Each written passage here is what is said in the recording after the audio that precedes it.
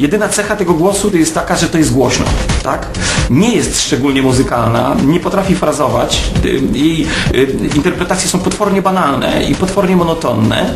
Natomiast y, konia z rzędem temu, kto powie, jaki to jest styl muzyczny. Nie mam fioletowego... Tutaj mamy przykład kariery osoby, która mówi od razu, że nie mam nic do powiedzenia, mam do powiedzenia same głupoty. Masz coś do przekazania ludziom? No pewnie, że mam. Każdy ma coś do przekazania. Ja po prostu, wiesz, urodziłam się, by umrzeć gwiazdą i nie widzę się w innym, w innym wcieleniu. Idolem y, jest osoba, która wyróżnia się z tłumu nie tylko swoim y, ubiorem, y, zachowaniem, ale też osobowością. Generalnie właśnie macie ją przed sobą. Jesteś jedyną gwiazdą w polskim showbiznesie? W muzyce? Jestem nieskromna, ale tak. Którego z tych, y, którego z kandydatów do y, Super Jedynki z Artysty Roku traktujesz jako poważniejszego rywala? Wszystkich tych, którzy się nie dostali. Dobra, i tych, których nie będzie, tak?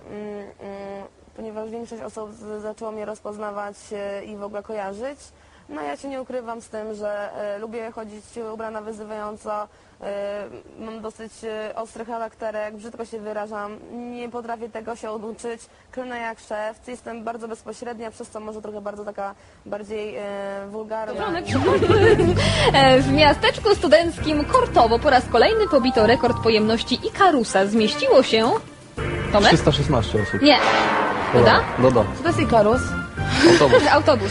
A, no to 256. Organizuję taką imprezę dla swojego narzeczonego i po prostu staram w gacie z nerwów, ja nie wiem co to będzie. Po prostu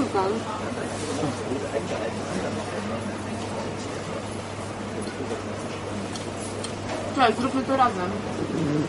Mm, ale no, synchronizuj się.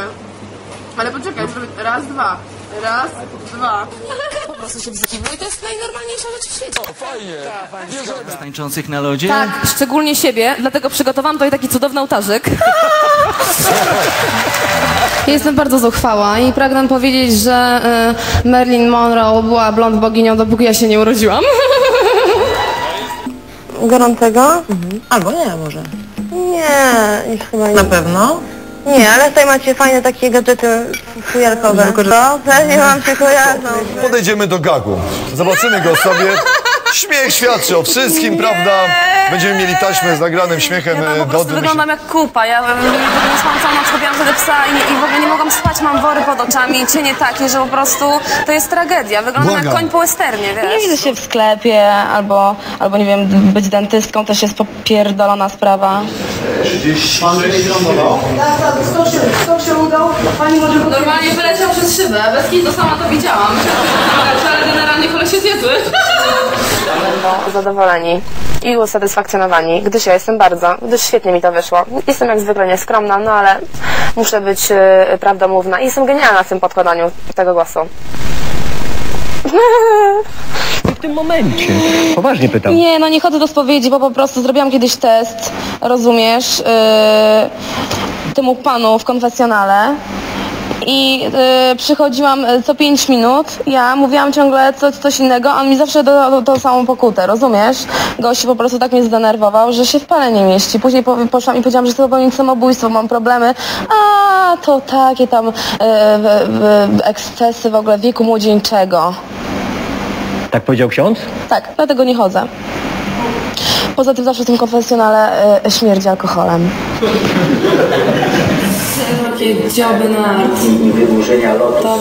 Zaprogramowano na to. Moi rodzice utwierdzili mnie w przekonaniu i w rozrobieniu mi pranie mózgu. Jesteś najlepsza, najpiękniejsza, najmądrzejsza. Jeżeli ktokolwiek mówi ci, że jest inaczej, to po prostu ci zazdrości.